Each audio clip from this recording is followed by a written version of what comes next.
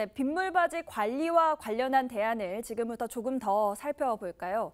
먼저 서울시는 빗물바지 전담 관리자를 지난해 70명에서 올해 100명까지 늘렸습니다.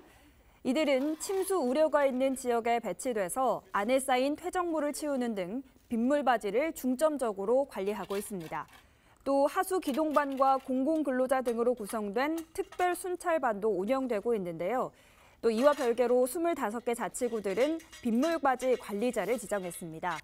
이 관리자는 빗물바지를 수시로 점검하는 한편 배수가 잘 되지 않을 경우 신고하는 역할을 맡습니다.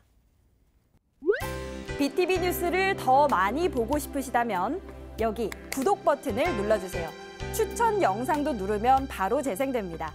또 다양한 서울 소식을 보고 싶으시다면 휴대폰에서 가지 앱을 다운로드 해보세요. 저희 BTV 뉴스를 시청해주셔서 감사합니다.